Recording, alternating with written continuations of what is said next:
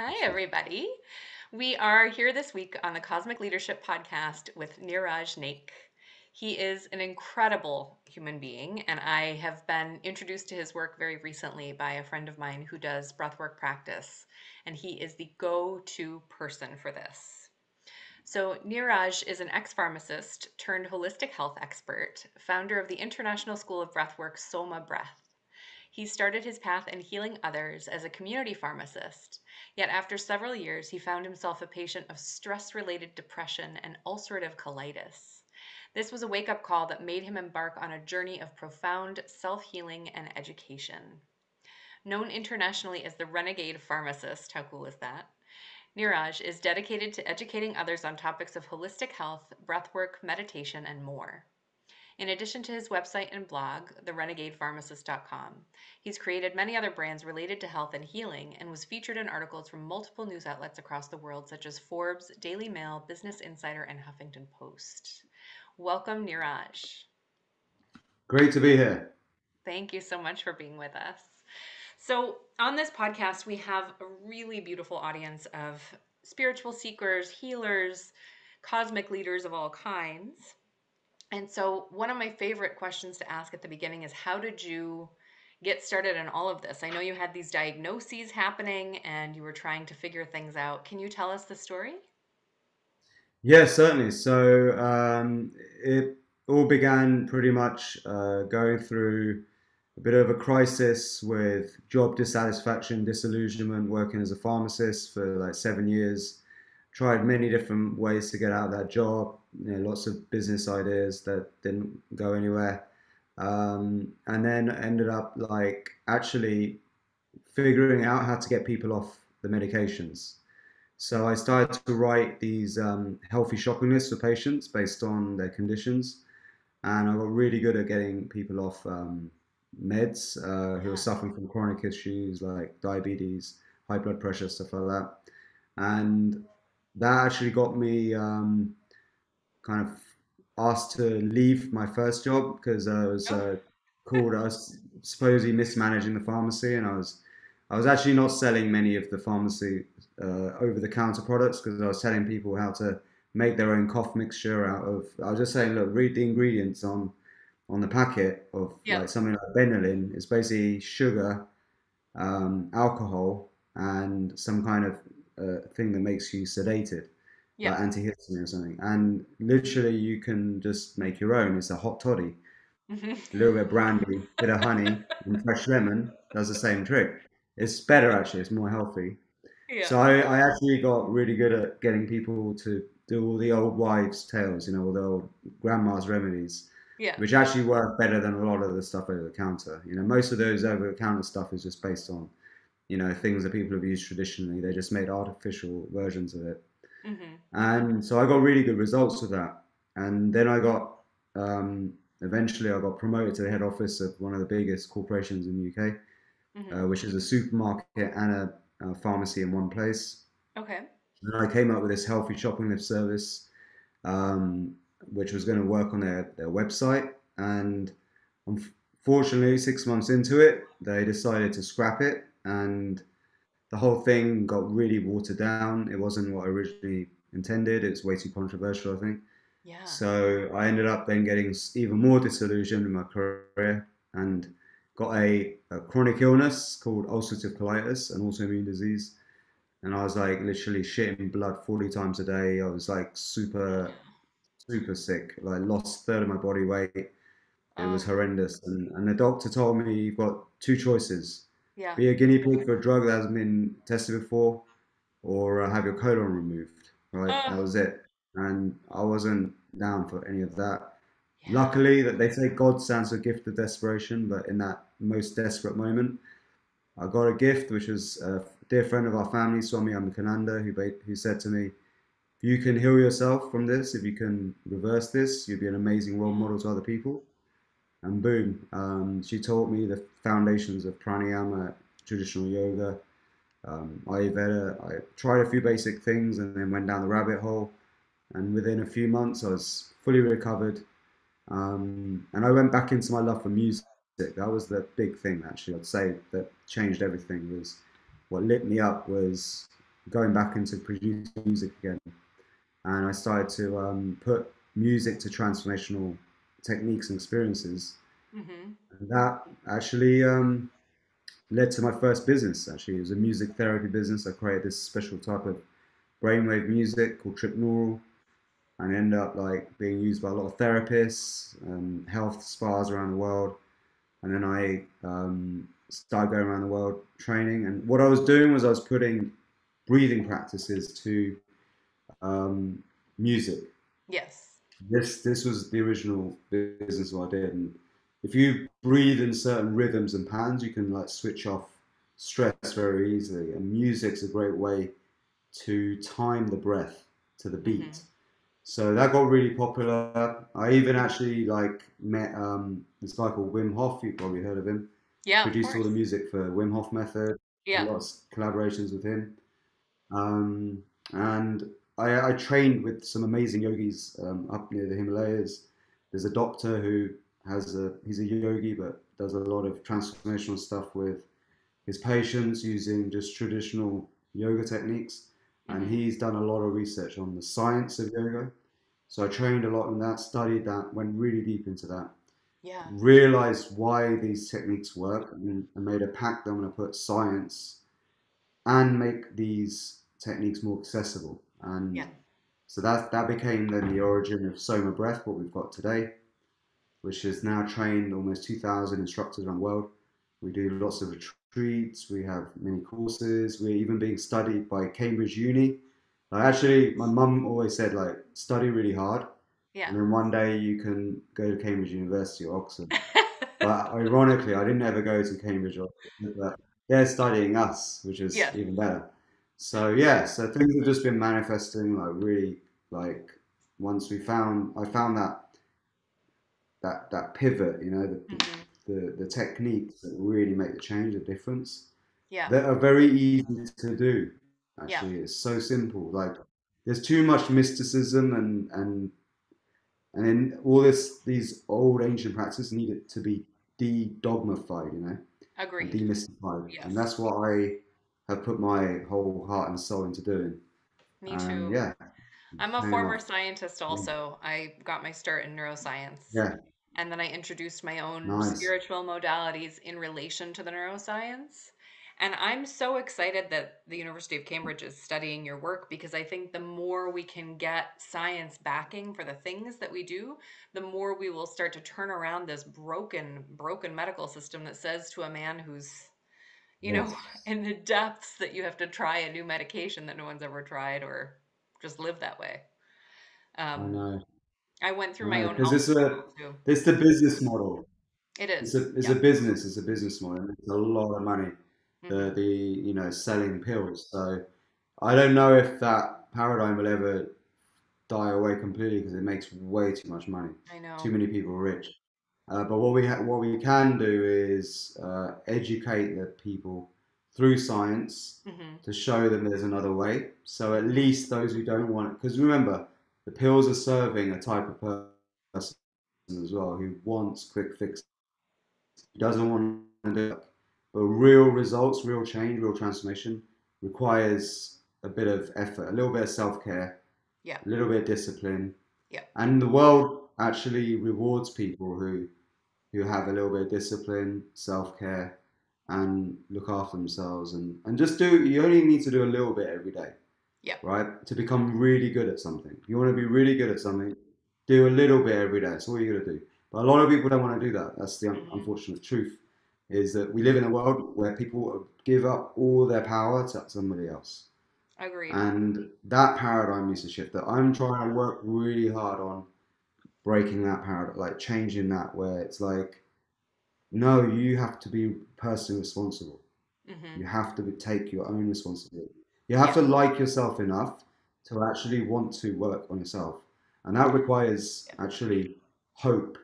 And hmm right now, the world actually, if if you look at it from some points of view, you know, it's the hope's gone. Who do you, who do you look up to now? Who's your who's the leaders that inspire you? You know, is it the president of America or the prime minister of Great Britain who just resigned? Yeah. It's not. It's definitely not them. They're not the role models. So Right. Who do you look up to? You know, and that's what we need to shift is the the trust. We have to give the trust back to people, and Right. and then people will become more motivated to look after themselves. I think. I think so too. And I think a large part of that is that deconditioning of that idea that there is someone outside of us that knows us better than we know ourselves. No one will know what you need like you know what you need. And you may not be a doctor, you may not be an herbalist or know the things that you're supposed to do, but when something doesn't feel right, that's your inner knowing, that's knowing yourself. And so you have to act from Yeah. that place rather than giving over power to somebody who doesn't really know. They may have the And also, so many and they don't know you. Yeah. Yeah. But also, so many people rely now on these gadgets, right, to tell them how they feel, right? Mhm. Like feedback devices and um, rings that, that tell you your metrics first thing in the morning that freak you out, right? Right. And then give you high blood pressure from the morning, right? Right. So actually, we have the best biofeedback already. It's our own. Intuition, our body, our physiology. It's like telling us things all the time. But Mhm. we need a, a ring on our finger to tell us that we've got this or that wrong with us. Actually, our body's telling us all the time. We just forget about that. Yeah. So that's a big part of what we're doing as well, is helping people to get back into their own feeling, the intuition. Mhm. Yeah. Yeah. So, in the breathwork course that I took with you, it was breathwork accompanied by music. And so, can you talk to us a little bit about the the musical part of things? Like, how did you become interested in putting music to breathwork, and how does that Well, change I'm I'm a mu- the game? yeah yeah. So I'm I'm a music producer. Like from that was my childhood passion, Yeah. and I actually used to run like raves when I was 19. That was my Okay. first business.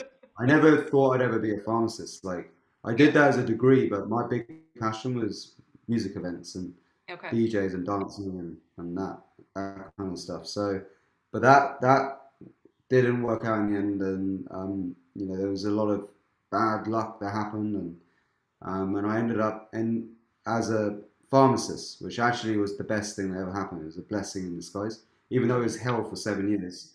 It was a blessing, but when I went back to um, when I started to look to ways to heal myself, um, I started to listen to a lot of therapeutic music on on YouTube, meditation music, brainwave entrainment music, Yeah. and I found a new love for music. I was like, because before I was into really like hard dance, like drum and bass, like heavy Mhm. stuff, and but this was a whole different style of music which I didn't really ever knew existed Okay. and that and that it gave me so much like relaxation right Yeah. and turned off the stress so well Yeah. that i was like okay i want to start making stuff like this so i got really into doing that but then i realized so in pranayama a lot of the breathing patterns hmm are rhythmic so you're breathing in a rhythm Yeah. and that has different effects like doubling your exhale time versus your inhale Yeah. time different Very speeds different science backed. Yes. Yeah. So I was like, right, well, music is the best timer of your breath, right? Yeah. One of the problems with if you count in your mind, like in pranayama, you count seconds. Yeah. So some people use beads, hmm right? Mala. That's why you have mala beads because they're to count. Yes. Um, okay, but um, or if you count in your head, the problem with that is it creates an unconscious stutter hmm to your breathing, and your breathing needs to be smooth for the effect. So if you're counting, if you go in, two, three, four, every time you say in, two in your mind, your Yeah. breath, because your breathing and your thoughts are so intimately linked, it creates a bit of a jerkiness to your breath, which hmm is counterproductive. So but with music, you can just follow along with the groove of the music.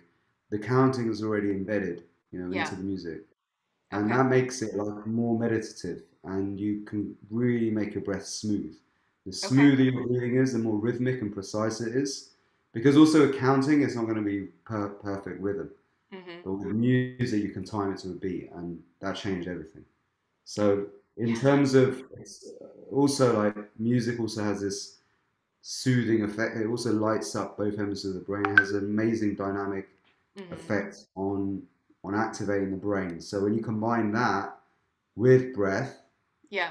like a full magic experience. Yeah. Agreed. And that is very neuroscientifically backed. Um, just some of the things you were saying that in order for you to fully heal, you need to be using both sides of your brain. You can heal one side entirely, as Jill Bolte Taylor has proven. She's this incredible woman um, who's rehabilitated her brain. But it works faster and much better if you can work with both sides of the brain at the same time. And so the the musical aspect would engage both sides of the brain as you're doing the breathing. Plus, the other neuroscience backed thing that you brought up is the the longer exhale thing that actually Yes. stimulates your immune system in a different way. And so um, I don't know if you're familiar with all of the the Kundalini yoga chants, but that was kind of my entry point into breath work was that Mm, practice. And the long cars, it was a, a chant where you're exhaling for like nine or 10 seconds at a time. And Yeah. people have found that to be incredibly healing also. Yes.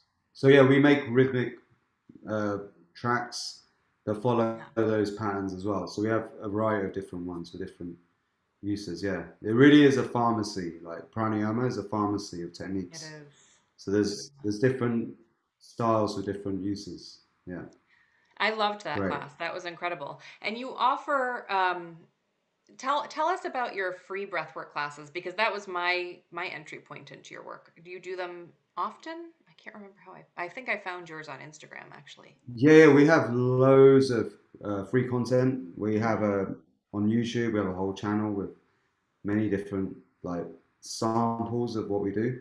Yeah. But we also have a free masterclass, like on um, uh, through you, they can Yes. the listeners can get the links and check it out. But in there, I really go and break down the science, how everything works, because you need to know why this stuff works. So we can go much deeper in a in like a masterclass, and you can experience it as well. But Yeah. um, yeah, so we we give a lot of value like up front, you know, so so you can test it out. The best is actually just to actually do it. Yeah, Yeah, I agree. yeah. Because until you actually do it, you don't really know if it's going to work for you here or not. You're like, well, it's just another breathwork practice. You know, there's so many. But then once you try it, Mm. you're like, oh, that was incredible. So I highly no, that makes recommend people go check that out. And then beyond that, you're also doing a breathwork training now, also. Can you tell us more about that? Yeah, yeah, yeah. So um, we love to train instructors. We like to empower people Mm-hmm. to teach other people, like to pass it on, right? And to create some abundance doing it too. So um, we train instructors in um, very, very, it's like a, I would say, a PhD of breathwork, traditional yogic science. Yeah. And we really break it down, lots of evidence is for everything we're talking about, into, um, well, first we have a routine, Mm-hmm. which people love. It's like a, something you can do as a group practice. You can do it um, one-on-one with your clients. And we have lots of yoga teachers and Yeah. even like massage therapists, Reiki massage, lots of, and people just everyday people as well, Yes. who use this to actually get people together and, and like kind of create an intention and celebrate, you know, Mm-hmm. life together or, or create some experience, you know, together. But the idea is that actually by doing it, it not only is it good for your you know, mental health, but it's amazing Yeah. for physical health as well. The whole breathing techniques. And then we show people how to then actually go even deeper and retrain people's breath because we were never given a manual on how to breathe correctly, right? And True. the breath is really like the remote control of the mind, body, and spirit. That's what, what we Yeah. call it. Because once you understand the breath, you can tap into the autonomic nervous system. Mm-hmm. And breathing is so important as well because actually, oxygen is something that we can't live without, but also we can't live with. Yeah. Oxygen creates oxidative stress. It actually causes like combustion inside our. It's like a combustion engine going on, our mitochondria, and with that comes wear and tear. That's Mm-hmm. why we need antioxidants in our diet because it prevents a lot of the oxidative stress problems. So that's why antioxidants have an anti-aging effect. But the most profound and potent antioxidant of all is nitric oxide, which you only produce through nasal breathing and also humming. But Mm-hmm. we create techniques and breath holding. We create techniques that really stimulates the most potent antioxidant of all, which is also antiviral, antibacterial.